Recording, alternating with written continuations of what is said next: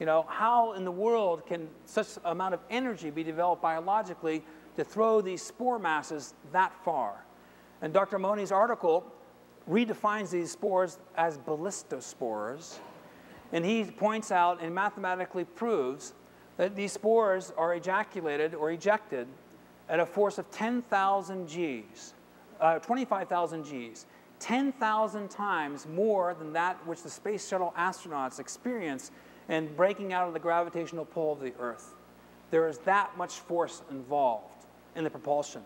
And they come out in paired opposites. A gas bubble forms down here at the junctions, a sheet of uh, liquid sugar forms, and electrostatic field differentials begin, and they start shaking and vibrating. And that's a great statement of the biology on this planet and this dualism of life. This the yin and yang, the male and the female, the, the paired opposites. That these things are pushed out into thrown out into space in opposite directions at 45 degree uh, angles, and they're thrown far away from the mushroom. Uh, and I think this is, this is representative of something larger. And something that I, I will emphasize is that I believe that biology progresses through the repetition of successful models. What has worked previously biologically is built upon in, in evolution. And the invention of the computer internet is just a representation of a successful biological model inherent within the structure and the representation of the mushroom mycelium. The mushroom mycelium, you can't destroy the mushroom mycelium by damaging one point. You can't destroy the computer internet by blowing up one computer. That's one of the reasons why it was designed. But this ability to share resources, I think, is integral to our, our model of life on this planet. And I see the computer internet as being a natural evolution of the biologically successful model that's represented in the mushroom mycelium. In northern Nigeria, over 5,000 years ago, this artist made the, uh, a painting. Uh, this has been redrawn. And it was in the Tassili n'Ajjer Plateau, which literally translates to the plateau of, of running uh, rivers. And the uh, northern Algeria, of course, is very uh, much of a desert environment. The uh, Sahara Desert encroached and expanded, and that region now is, is extremely arid. But in this one area, which is, which is uh, uh, worked through with hundreds and hundreds of caves, a Japanese researcher uh, and an American anthropologist in the late 1940s were exploring the cave art in, in, in the Tassili Plateau. And uh, they had to take actually camels and whatnot to get in there. It took several weeks uh, of travel to get to this very desolate region. They were running out of water. And they sent one of their guides, you know, let's explore the caves. There's got to be water around here. They were getting very, very desperate. And, and the very hidden reaches of this uh, labyrinthine cave complex, one of their scouts went down and he found water in a pool, this cave, which had a domed a ceiling of 10 or 12 feet. And he was gathering water and he lifts his lantern up and he was shocked to see this image hovering over them. And unbelievably, for 40 or 50 years, anthropologists never understood the meaning of this drawing. Obviously, this artist is very, very excited about mushrooms. if you had to communicate something through the millennia and mushrooms were your main mo motif, you would make it undeniably obvious that mushrooms were your main interest. The fact that the, this, this figure also has a bee face speaks, I think, loudly to or underscores this history of using these magic mushrooms inside of honey. And the psychoactive meads or beers, uh, Christian Rätsch and a number of other researchers uh, have spoken of this as well is the, before the Beer Act of something like 1394 or something like that, um, and after the Beer Act, only certain, you know, only hops and malt and certain restricted herbs could be used. But prior to that, the meads were, were full of many other different plants and including mushrooms. And so it is thought the wine of Dionysus may have well been impregnated with an infusion of magic mushrooms uh, also. So this is very common to our ancient European roots. The use of mushrooms throughout history spans millennia, and is almost universal throughout native, uh, native cultures, with, with a few, few exceptions. Um, so this may be with the very mushroom that they were uh, using. This is Psilocybe mairei, uh, photographed by uh, Gary Lincoff. he went to Algeria, growing on a pine cone. Now that area used to have lots of water and it was a riparian zone, so it had mixed deciduous and conifer uh, and pine trees. Um, and he found this in northern Alge Algeria. It's very similar to Psilocybe cyanescens, which grows here. Um, here's another example of, of, of Psilocybe mairei. And I'd like to describe, just a second here.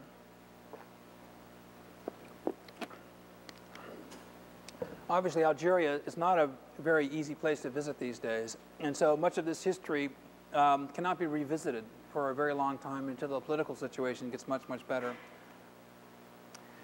And then in southern Mexico and Central America, uh, and especially in Guatemala, a, uh, catches of mushroom stones have been found over the years. Um, and the mushroom stones uh, were variously proposed as being a model uh, for making a rubber latex ball uh, to be involved in the court game uh, between uh, uh, opposing sports teams. The captain of the winning team would be sacrificed. It was a great honor. Um, certainly a big disincentive, disincentive in my mind. and it's speculated that maybe they were using mushrooms during, during the games as well. And in these uh, courts, they would find uh, catches of these mushroom stones. They also still turn up in village and farmers' uh, uh, fields and whatnot when they're plowing. And there's been a lot of speculation as to what the mushroom stones mean. I personally believe that they're like a, a coat of arms for a family. You know, you have the eldest son receiving, or the eldest daughter, whatever the case may be, receiving a, the, the family heirloom. This is our mushroom deity. This is our mushroom stone. The mushrooms synchronized with rains. A lot of the, water in central south, uh, central, uh, southern Mexico and Central America, there are catchments for collecting water. And the absence of water drove civilizations literally to extinction, it is thought. Um, and the, the, mushroom stones, um, under the, in the presence of a fire, a flickering light, come alive. Now, this collection here was brought together because a graduate student published a thesis on mushroom stones. And so mushroom stones from all over the world came to his graduation ceremony. Uh, and a friend of mine who was photographing for National Geographic supplied me with this image. Um, and these are the three of the mushroom stones that, that have come my way. Um, this one here is 500 years BC. This one here is 400 years AD. This one here is hard to type exactly to uh, uh, exactly where, but it was a pre-classic period, about 800 years BC in, in the Mayan culture um, to about four or 500 years AD. And then uh, the mushroom stones became extremely scarce because the, the Christian conquistadors, when they would come over, uh, specifically uh, chose any type of idol to be destroyed uh, as, pag- as a pagan ritual that they wanted to, wanted to suppress. And so the mushroom cults went underground and remained underground for, for centuries. Um, this is one that has a woman figure. Many, there are women, uh, there are men figures, and there, there are frogs and lizards, uh, lizard-like uh, creatures that are present in the, in the mushroom stones. This is a tripod one. Some of them are tripods, some of them are flat. There's about 200 of these mushroom stones that are known um, in the world right now. They tend to be made of volcanic rock. Uh, and they're the biggest catches of them have been on the western slope, um, slopes of Guatemala on, on the Pacific side. Years ago, I was up in um, British Columbia at the, uh, at the uh, Native American Museum in Victoria, which is one of the best museums in the world for Native American art. And I found this papoose. And this is from about 1910. And on the back of this papoose that carried a baby are three actually taxonomically accurate uh, two-dimensional drawings of liberty caps, Psilocybe semilanceata. And they're blue in color, and they fade. Liberty caps and these psilocybe mushrooms are what we call hygrophanous. They'll have a true color, but as they dry out, they become lighter in color. And the hygrophanity of the cap is one of the taxonomic features that us mycologists use in describing this, this group as being you know, a taxonomically discrete group. There, I'm very interested in the use of these mushrooms by North uh, Coast Native American cultures. And then the trouble really began. in 1957, May 13th, when the cover of Life magazine with Bert Lahr, who was a well-known comedian of that time, R. Gordon Wasson published Great Adventures 3, The Discovery of Mushrooms That Cause Strange Visions, just above teenage allowances. but imagine the impact during the height of the Cold War when three million copies of Life magazine landed on the doorsteps of our parent, many of our parents, when I was, now at that time, I was two years of age. Um, and imagine that something so profound and so different about a new form of spiritualism, a new uh, way of looking at the, at the world that's rooted in history, you know, came in, uh, uh, right to the very doorsteps of, of middle America. And in, that, in this magazine, which is still available, you can find them on, you know, when you go on, on Amazon.com or internet searches or used bookstores. And it is a very good uh, description by R. Gordon Wasson, uh, who is featured here with the mushroom stone, and Marina, uh, Maria Sabina, and a, a Mazatec mushroom velada, which is a, a mushroom ceremony. Um, and in this magazine was the first uh, uh, excellent field guide of what these mushrooms look like in nature with uh, watercolors by Roger Heim And this is Roger Heim, uh, Roger uh, Heim here, and this is R. Gordon Wasson in, uh, in Oaxaca, I believe. And this is the first descriptions, uh, first painting, so to speak, or uh, an excellent field guide uh, to the magic mushrooms of, of Mexico. and R. Gordon Wasson was friends of the publisher, and they, and, they asked him to do this article about his research. Uh, uh, on, on the psychoactive mushrooms of Mexico. And R. Gordon Wasson says, fine, but you can't change a word. You cannot edit my work. And we've all know what happens when editors, you know, take a vision's, a visionary's work and they try to distill it into something that's more appetizing to the American public. And so uh, the, the, the publisher agreed, but said, we get to choose the title. So the editors of Life magazine said, coined the phrase magic mushrooms. And that's when that name became iconized uh, in American literature. In 1975 uh, was the first conference on psychoactive mushrooms. Uh, this is R. Gordon Wasson here. It was held in, at the Millersylvania State Park near Olympia, Washington. It was organized by uh, Jonathan Ott, uh, Preston Wheaton, Jeremy Bigwood, uh, myself, and one or two other individuals. Um, it was at a time of, where the political situation was electric. Uh, no conferences would speak about psychoactive mushrooms because it was the fear of ignorance. Mushroom experts are supposed to know about mushrooms. None of, these, none of these mushroom experts that were around within the societies had any clue about these mushrooms. They called them LBMs, still do to this day. Little brown mushrooms, they're too hard to identify. And so when we were at Andy Weil, myself, and uh, Manny Salzman in 1974-75, we're at the Aspen Mushroom Conference, which was put on by physicians they actually made, physicians made, made this statement saying it is better for these kids to go out and collect poisonous mushrooms and die than it is for us to give them the information to prevent poisonings. It is better for them to go to the hospital to have their stomachs pumped to teach them a lesson than it is to give them the knowledge to empower them to distinguish between poisonous and psychoactive mushrooms. You know, no one has died from eating psilocybin mushrooms. Now, there's two reports that are controversial on the subject, and there could be other cofactors.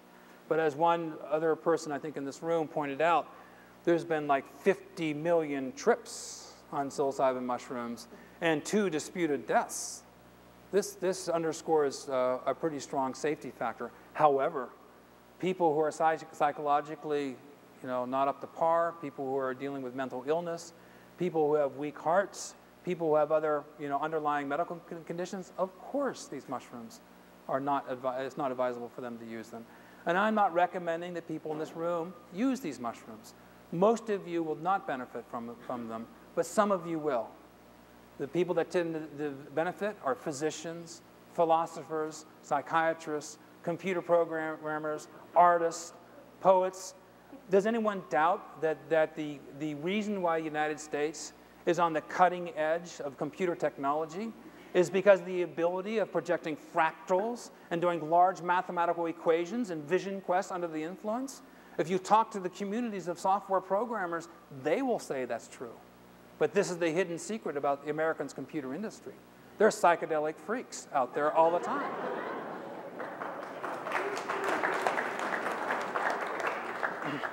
Uh, so R. Gordon Wasson is very well known, He's, and he wrote a book called Mushrooms, Russia, and History, which was talked about the differences between attitude uh, of, um, of Eastern European cultures, specifically Russian cultures being mycophilic, having a, an affection for mushrooms, and mycophobic cultures like the Irish and the English who are, uh, have a repulsion for mushrooms. Because of the, the conquest of the world by the English culture, mycophobia reigned for literally hundreds and hundreds of years. But pagan cultures, early uh, Germanic cultures, you know, the Russian cultures, Czechoslovakian cultures, uh, those cultures have a long history of use of these mushrooms and an affection for them to the point that the Russian uh, common language will have 100 to 200 common names for mushrooms. We have 20 or 30, and then David Arora and Gary Lincoff invent all these other common names because the publishers of their books say, Latin is too complicated. You know, give us a common name. And so many of you know this. David Arora and Gary Lincoff had to invent hundreds and hundreds of common names. But in these other cultures, they're resident and part of their, uh, part of their, uh, their uh, history. So 1977, uh, uh, Dr. Gaston Guzman, Gary Menser, I don't remember the name of this person, Stephen Pollock, myself, and Dale Leslie uh, went on this mad mushroom hunt after the conference and um, Gaston Guzman is the world's number one expert in the genus Psilocybe and has written a monograph. There are presently over 200 species in the genus Psilocybe. This is the genus that has the psilocybin, most of the psilocybin mushrooms. Uh, over 110 of which now are psychoactive. These mushrooms are cir circumpolar. They're, they're all over. Um, and then uh, Gary Menser died, and Stephen Pollock died. Um, Actually, Stephen Pollock was an MD from San Antonio in Texas, and uh, Stephen, I knew the, the best of Steve, Stephen Pollock, and I had the misfortune of speaking to him on the phone when he was assassinated by a hitman. Um, and so it was uh, something I have to deal with, frankly. Um, Steve was trying to patent a species, and I was making fun of him at a conference saying, I don't think you have the right to patent a naturally occurring species. But I found a report that uh, Campbell Soup Company had, had, patented a fungus, you know, uh, that, was a, uh, that was a unique species. And so I called Steve up to say, Steve, I don't agree with you, but here's a reference. And your patent application, you need to have some, some citations.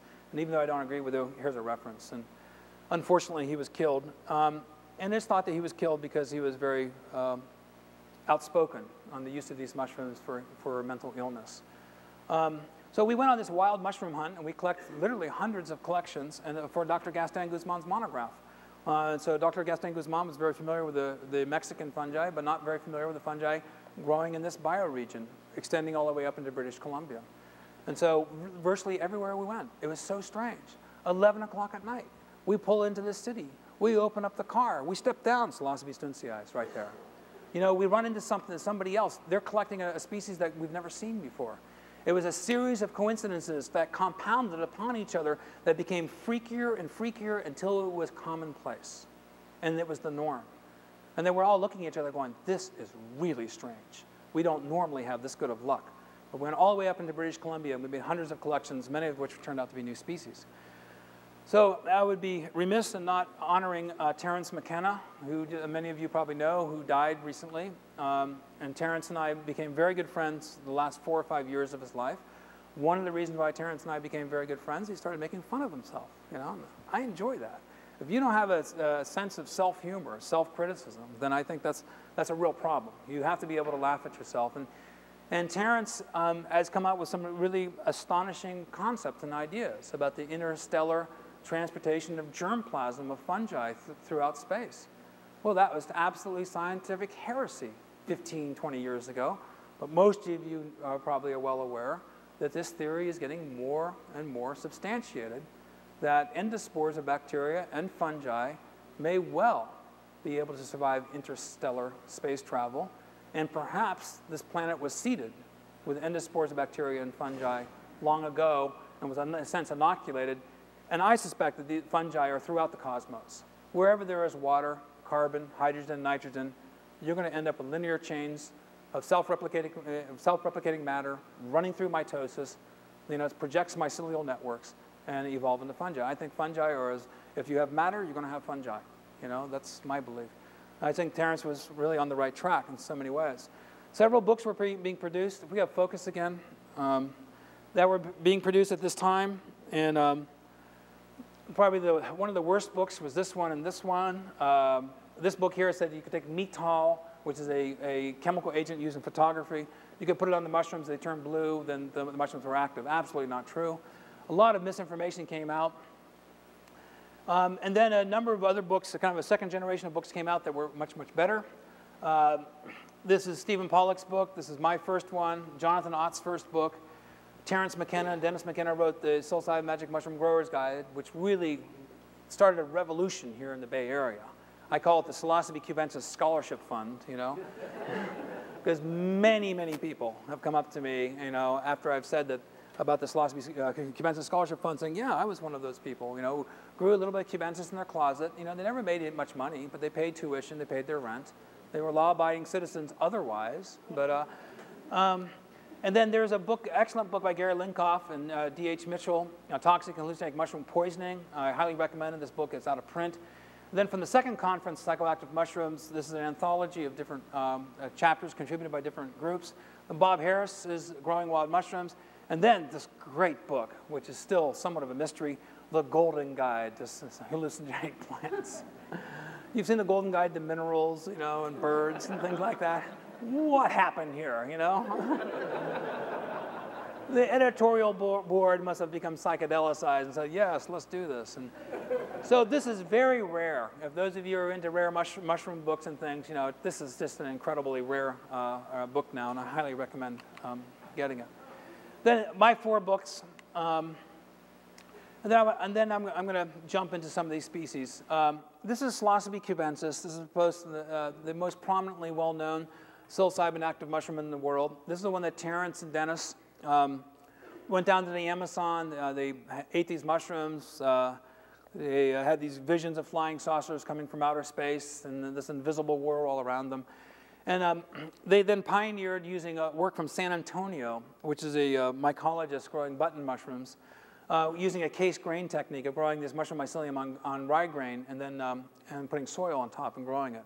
Very easy mushrooms to grow, very prevalent, very common southeastern United States. It also circumnavigates the, the equatorial region uh, of the planet.